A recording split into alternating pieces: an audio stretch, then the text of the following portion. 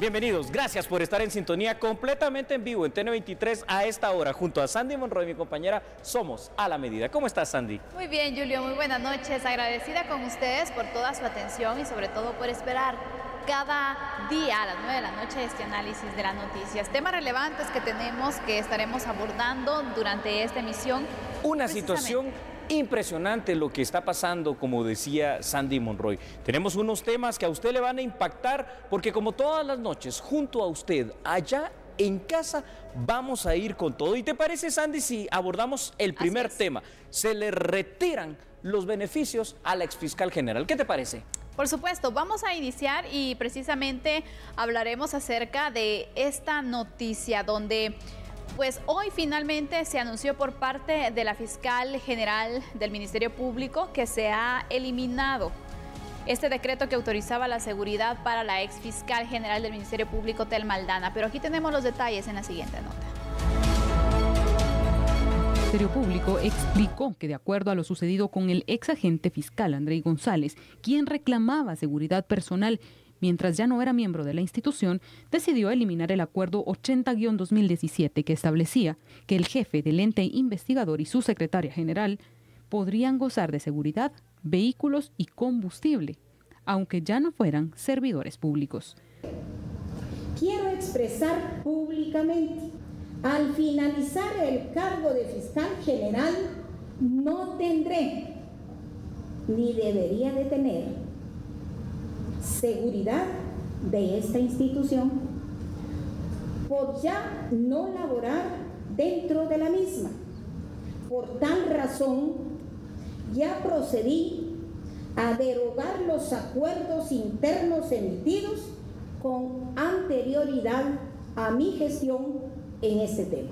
Efectivamente, se tratan de la seguridad de la señora ex fiscal general y eh, en cuanto a la secretaria eh, del Ministerio Público en aquella administración. Es efectivamente esos acuerdos y por eso claramente manifesté que inclusive yo al terminar la gestión no me voy a llevar ningún elemento de seguridad. Según lo establecido por la fiscal, el acuerdo que deroga esta instrucción entra en vigencia este viernes 18 de octubre. Ahí tiene usted la nota. Entonces, sí, usted empecemos con el análisis. La fiscal general del Ministerio Público, como usted escuchó, Consuelo Porras, dijo taxativamente lo siguiente. El jefe del Ministerio Público carece de potestad para emitir normativas a efecto de brindar seguridad a sus empleados. Por ello, en la conferencia de prensa que usted vio en la nota, anunció la derogatoria del acuerdo interno que brindaba seguridad al exfiscal general Tel Maldana y también a su secretaria general Mayra Vélez. De hecho, a su vez indicó que ella misma, cuando finalice su mandato al frente del Ministerio Público, Sandy, tampoco va a gozar de ese beneficio. Así que ahí tenemos nuestro primer, primer tema. Se le retiran estos beneficios al exfiscal general. ¿Qué te parece? Yo te diría algo. A ver. Se tardaron mucho.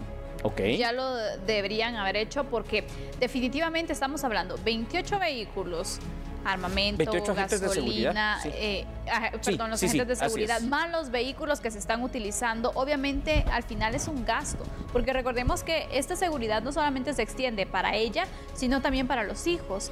Sí, es correcto, esto, esto es correcto, sobre todo esto que tú estás mencionando actualmente, que queda para los hijos, es en este concepto durante todo este tiempo que ya suman varios meses, donde ella no está presente aquí en Guatemala. Ahora, fuera de este, de este ámbito, pueden haber opiniones en Usted en casa podrá decir, bueno, es que creo que sí, considero que sí lo necesita o considero que definitivamente Cada no. quien tiene su...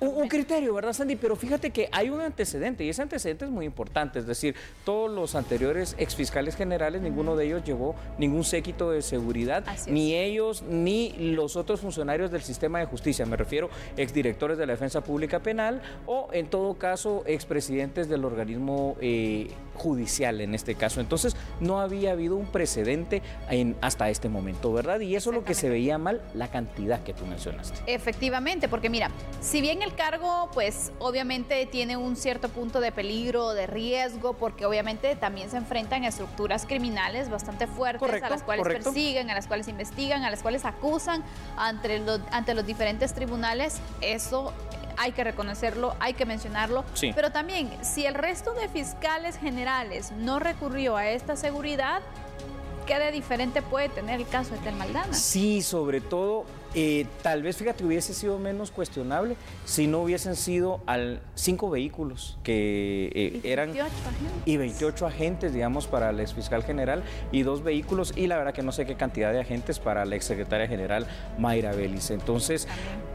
Hay posturas que hay que entender y dentro de ese contexto me gustaría que nos compartieras información que se vertió en este día para poder dar un sustento más amplio a este análisis. Por supuesto, vamos a ampliar esto porque algo que se evidenció es que la exfiscal general Telma Aldana, bueno, autoemitió este acuerdo para beneficiarse con la seguridad que le brindarían los 28 agentes. Esta seguridad se extendía también entonces para toda su familia, particularmente a sus hijos y por ende también aplicaba la utilización de estos vehículos, la gasolina y el armamento requerido. Hasta el momento entonces recalcando, no existe ningún fiscal general o exfiscal en este caso que tenga precisamente esta seguridad, sino que fue hasta la administración de ella que finalmente se hizo esta aprobación o este acuerdo. Eh, tienes toda la razón. Ahora yo les comento, les comento lo siguiente. Eventualmente, como tú bien lo decías y, y aplaudo eso, si de verdad la seguridad sí se llegara a necesitar, porque sí pueden haber amenazas, nadie dice que no, pueden haber algunos riesgos, no solo para ella, sino que para cualquier otro funcionario.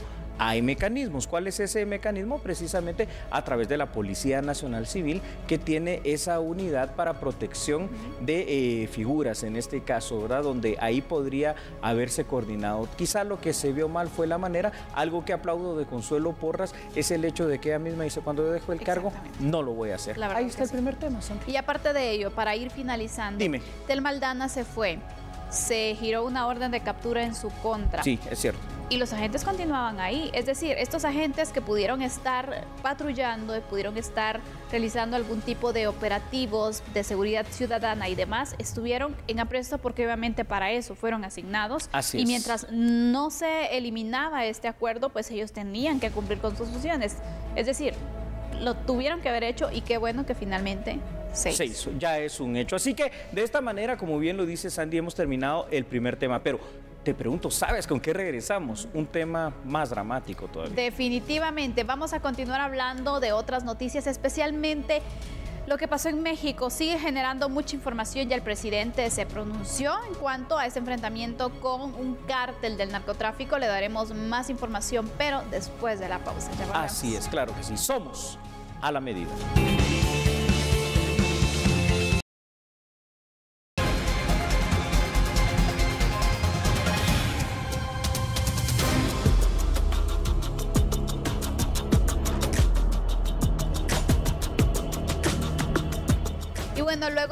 Enfrentamiento registrado ayer en Culiacán, el gobierno mexicano fue duramente criticado por la captura y posterior liberación del hijo del Chapo Guzmán.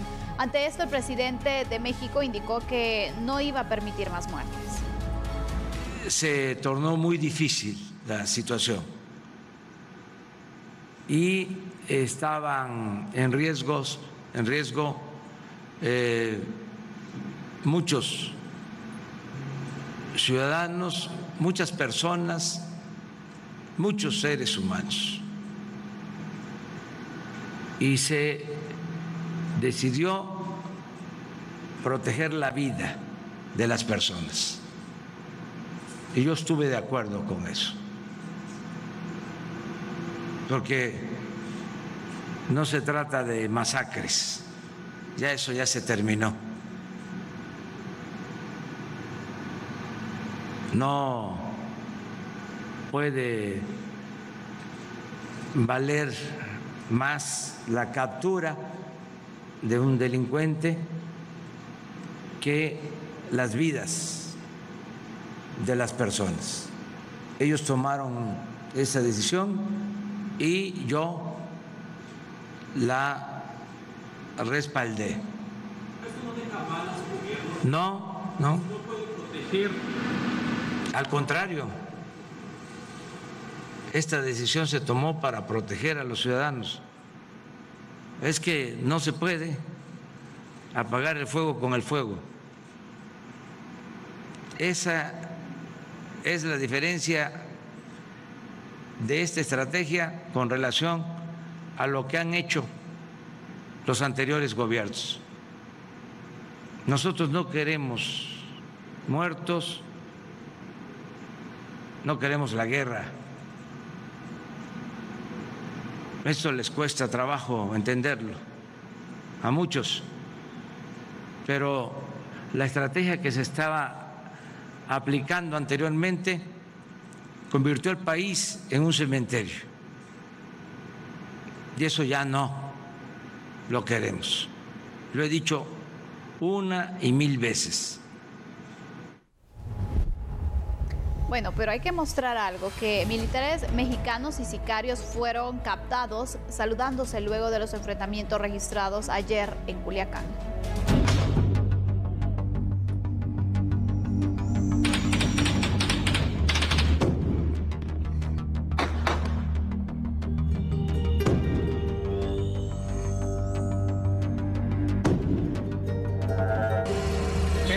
por todos lados.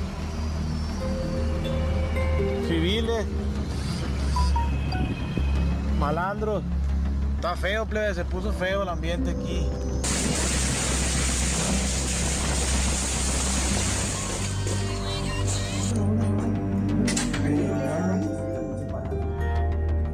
No, los papás. La verga los papazos.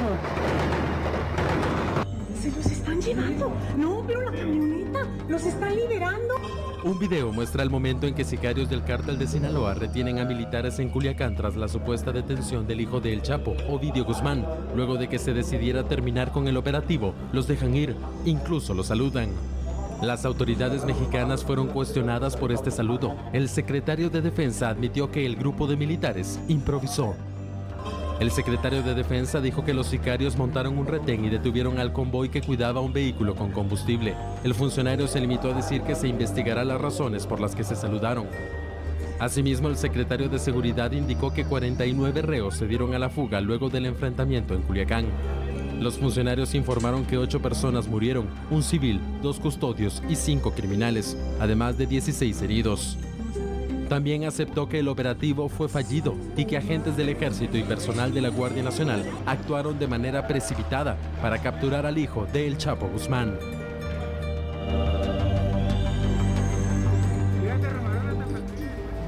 Ah, vamos a hacer el análisis, pero a ver si, si, si mi cámara ahí, mi querido Efraín, me sigue con esto. Miren, perdonen que lo voy a hacer gráficamente, no lo suelo hacer aquí en A la Medida, pero hoy sí, miren, así, así, literalmente, de rodillas ante el crimen organizado ahí en México. Muy mal. Hagamos el análisis, Sandy. A ver, trataré de explicar en mi punto de vista qué es lo que pasó acá. Una batalla ganada, pero es una gran batalla por los miembros del cártel de Sinaloa, es decir, del narcotráfico, ¿no? En medio de esta guerra, Sandy, esto es una guerra de cuarta generación. Aquí lo hemos dicho, una guerra asimétrica. La liberación del hijo de Joaquín Guzmán lo era, el Chapo hay promesas importantes que en seguridad suelen seguirse, pero además son casi protocolos mundiales que deben de respetarse en estas situaciones tan complicadas, como la que se vivió el día de ayer en Culiacán, Sinaloa.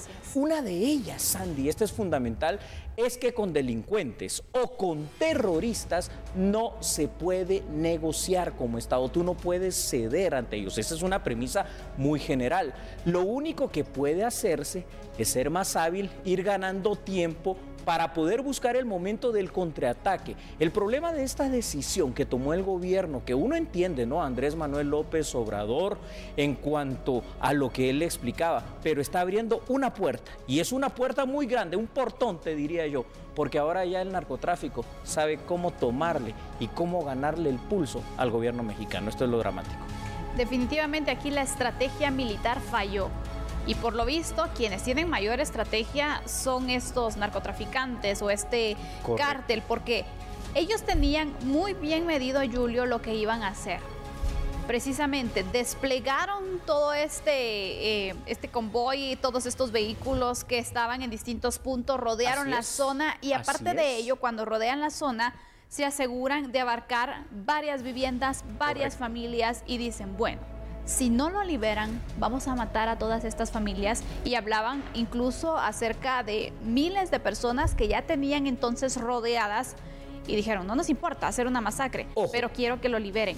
Ah, este fue uno de los puntos claro, por los cuales al claro. final dominaron la situación. Mira, lo dices muy bien. Cuando uno analiza esa parte, encuentra la lógica, por ejemplo, del razonamiento de Andrés Manuel López Obrador, que, que dice y uno trata de entender hasta cierto punto, bueno, no más derramamiento de sangre, privilegia la vida de los civiles. Pero ahí es donde puedes tú optar por otras medidas alternativas, como entablar una, mm, una especie de negociación. Bueno, señores, us- ¿ustedes qué es lo que quieren? ¿Quieren al, al chapito de vuelta? Bueno, lo primero que tenemos que hacer aquí es un alto al fuego, porque si no, recuérdense que nosotros como Estado tenemos, o al menos se suponía que lo tendrían, al chapito Guzmán. Pero aquí hay algo que a mí me llama la atención. Yo no lo sé explicar, solo lo acabo de ver ese saludo de las fuerzas del ejército a los narcotraficantes.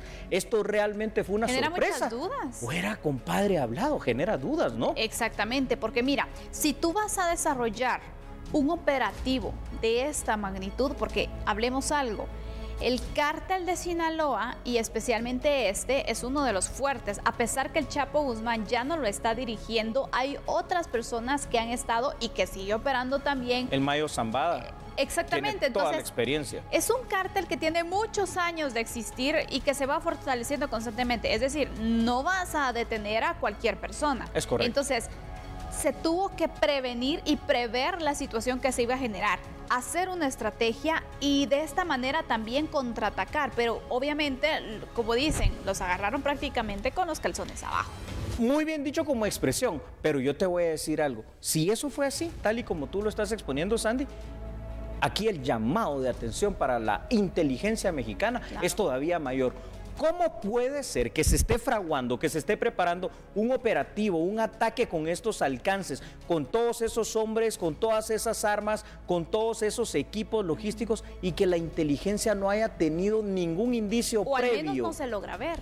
Sí, Las imágenes y la esto es situación final dramático. muestran eso. Solo para aclararle una cosa, cuando hablamos de inteligencia en el tema de seguridad, hablamos de aquel tipo de espionaje donde uno logra enterarse como Estado antes de que las cosas sucedan para poder prevenirlas, Y eso ¿verdad? tuvo que pasar porque, bueno, ¿cómo sabían ellos que se encontraba allí? ¿Correcto?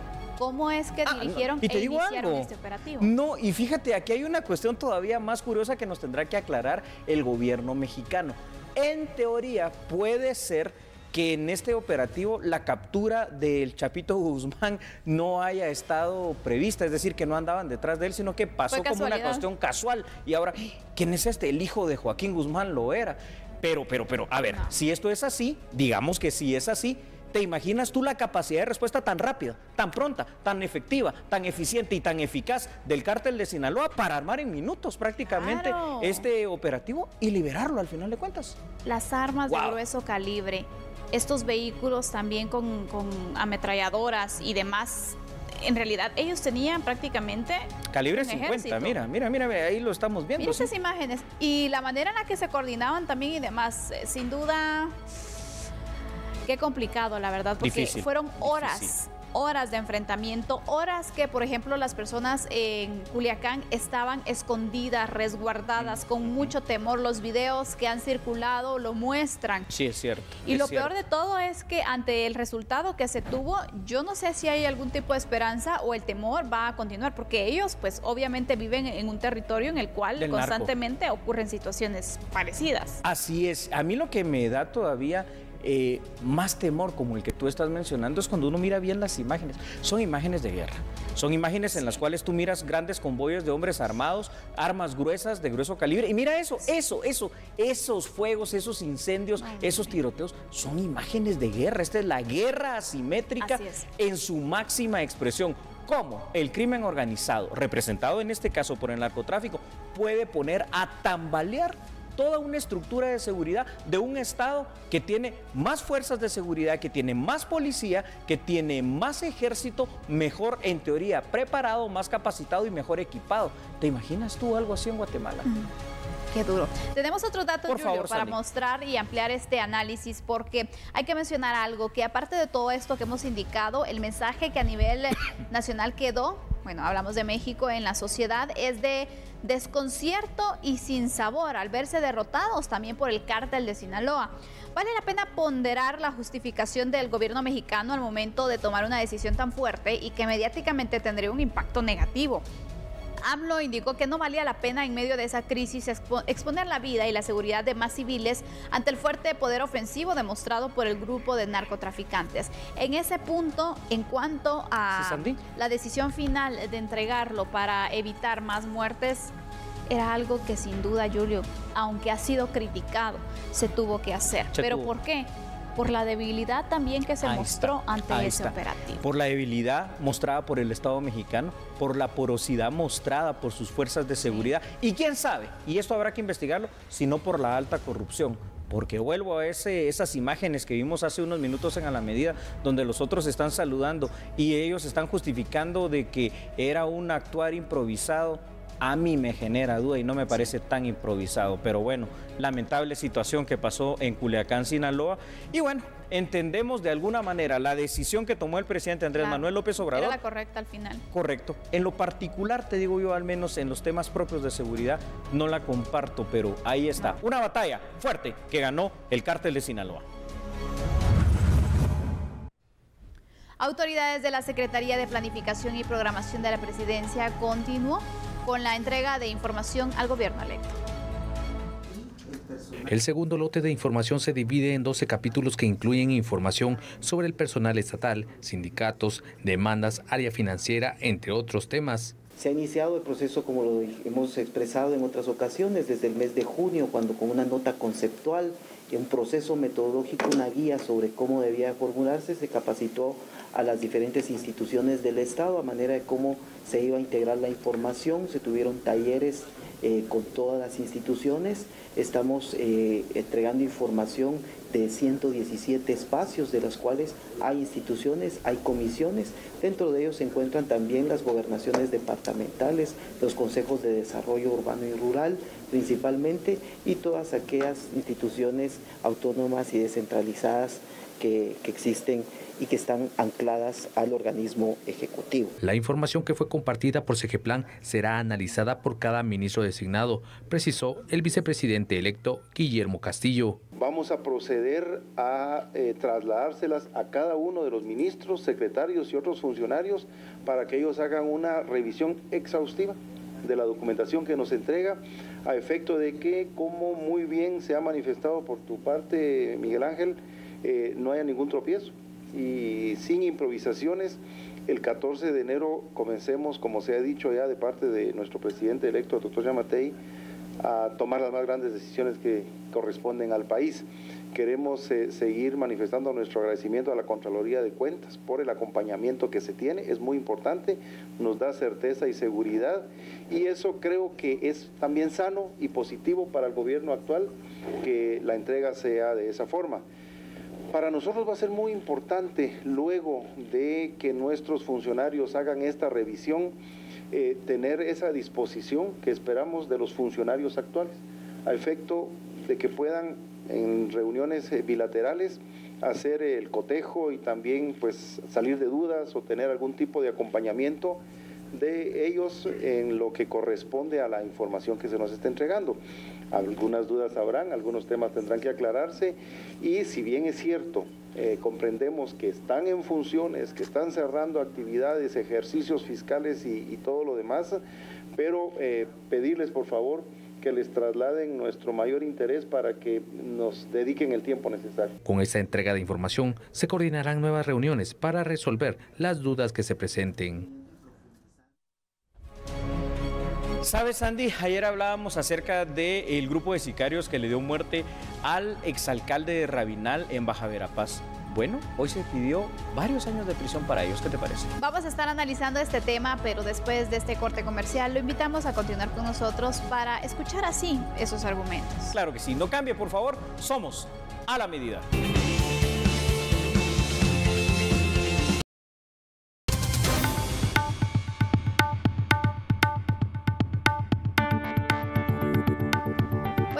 Vamos a tratar otro tema. El Ministerio Público pidió que tres reos sean sentenciados como autores materiales del asesinato del alcalde de Rabinal, Ángel Pérez, y el concejal tercero, Elmer Gómez.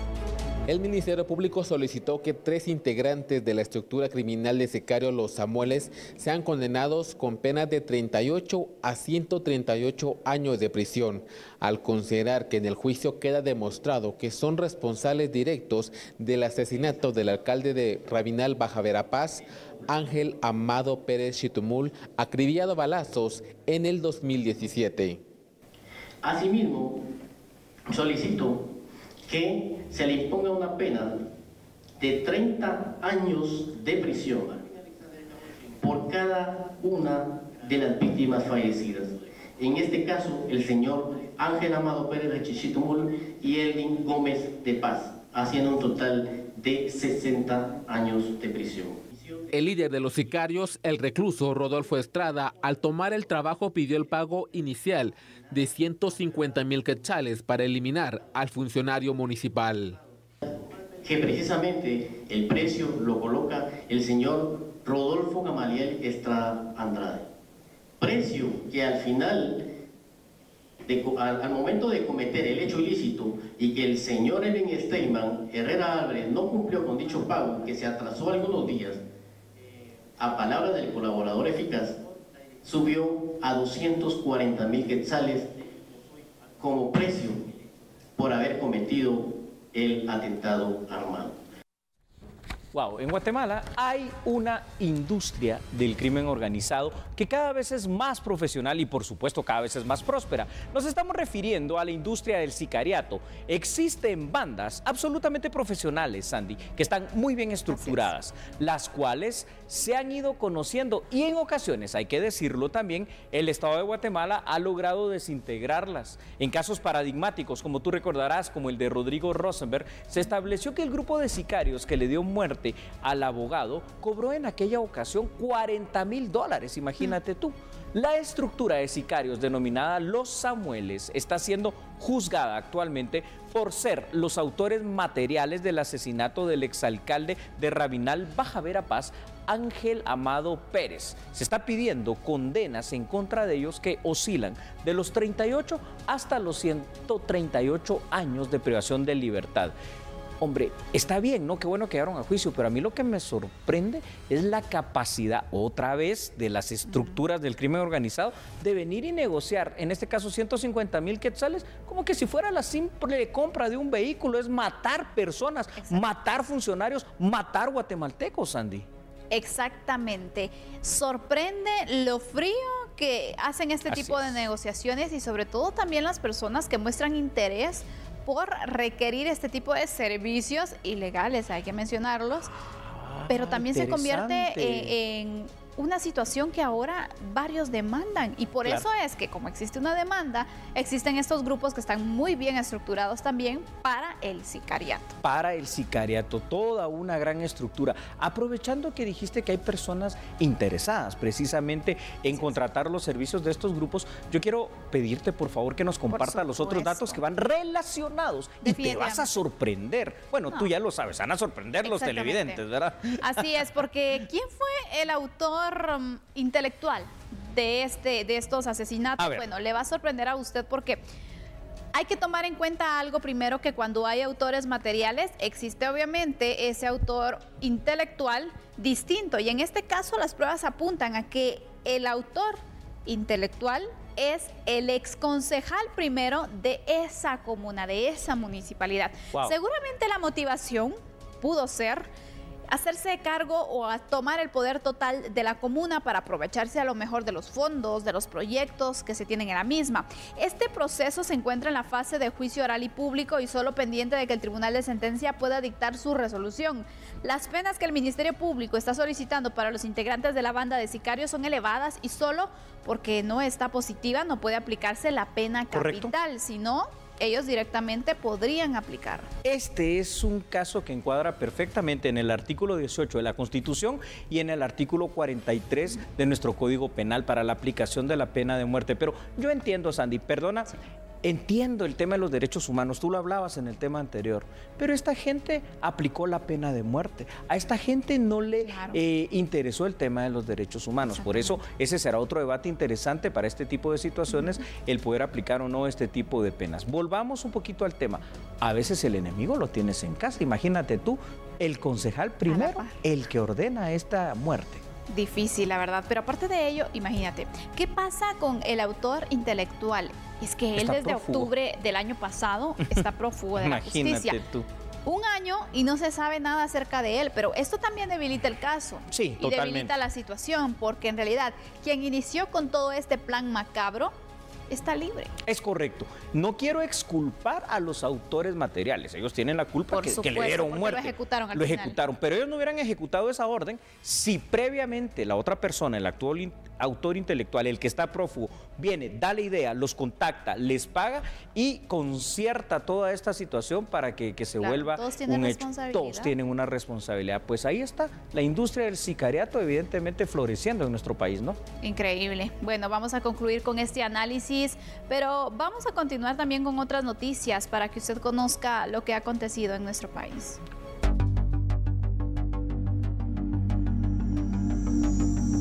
Así es, y seguimos con las noticias de orden judicial. La jueza de mayor riesgo, Claudette Domínguez, aceptó ampliar a exdiputados del Congreso de la República sus medidas sustitutivas. Vea la información en A la Medida. Los exintegrantes del organismo legislativo fueron investigados por hechos anómalos con el uso de los recursos del Congreso de la República. El abogado del exdiputado Cristian Bucinot pidió que su patrocinado pueda movilizarse en los 22 departamentos del país por razones laborales. En el caso del excongresista Alfredo Rabé, el defensor jurídico Octavio Cuevas pidió modificar el arresto domiciliario en el departamento de Guatemala para que pueda movilizarse en el interior del país. Y él se ha visto en la imposibilidad de poder inclusive acompañar a su esposa eh, en dos vías, en dos aspectos y es más la solicitud un aspecto humanitario, digámoslo de esa forma, derivado en primer lugar porque su esposa es la que en realidad cuida directamente eh, de la persona con prueba en su salud y todas estas situaciones, y aparte porque es igual la única compañía que él tiene en su vivienda directamente. La juzgadora Claudette Domínguez aceptó los requerimientos de los excongresistas. A los exfuncionarios Alfredo Rabé y Cristian Bucinot se les amplió la medida sustitutiva. Al exdiputado Edgar Cristiani se le benefició con una libertad condicional. Para dejar la prisión debe cancelar una fianza de 400 mil quetzales.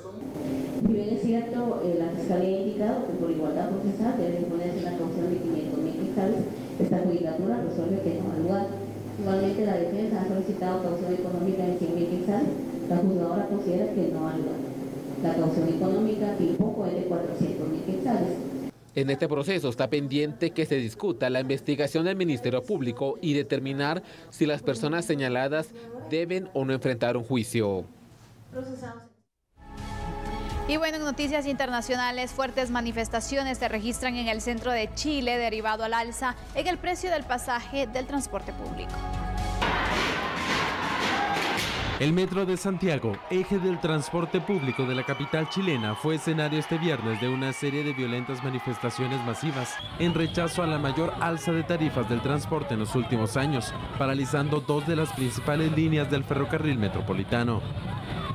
Miles de personas se concertaron para derribar las rejas de la entrada a las estaciones, destruir los torniquetes y sobrepasar los controles de acceso para protestar por el alza del pasaje.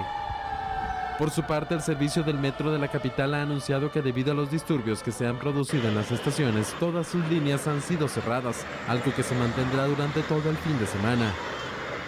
Este viernes las protestas que no tienen un líder visible lograron paralizar el total de las operaciones en las líneas 1 y 2 que cruzan el centro de Santiago.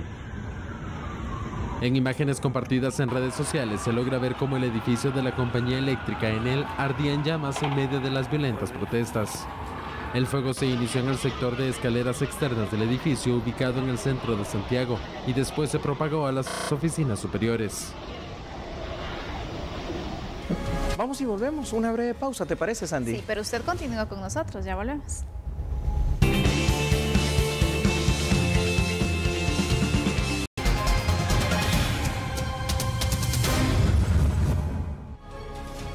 La titular del Ministerio Público explicó que el caso del partido UNE se conoció desde su inicio y de acuerdo a los tiempos procesales, sin ningún tipo de retraso. La fiscal general señaló que no solo se tuvo conocimiento de la investigación en contra del partido Unidad Nacional de la Esperanza, sino también de otros casos, los cuales se judicializaron, alrededor de 19 casos solo de la Fiscalía Especial contra la Impunidad, pero 22 más relacionados a temas electorales. También se me presentaron por parte de otras fiscalías casos relacionados con el proceso electoral, procediendo a conocerse y a judicializarse 22 casos, incluyendo el caso de la UNI.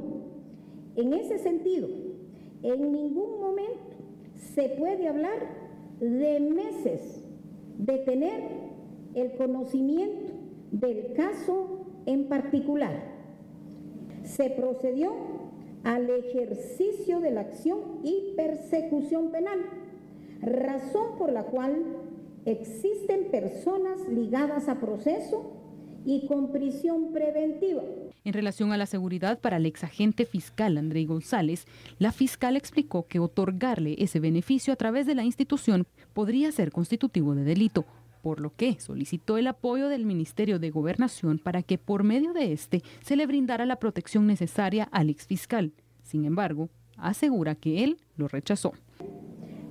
Existe normativa alguna en el Ministerio Público que permita brindar seguridad a un ex trabajador de la institución, tal y como lo refirió el propio jefe de seguridad del Ministerio Público, para lo cual, mediante oficio de fecha 19 de septiembre del 2019, la Policía Nacional Civil indicó que el propio ex agente fiscal no tenía interés de medidas de seguridad por parte de la Policía Nacional Civil. Además, aseguró que interpondrá las denuncias correspondientes en contra del ex agente fiscal por poner en riesgo la información de casos sensibles por medio de una grabación filtrada de una reunión sostenida en el despacho de jefatura.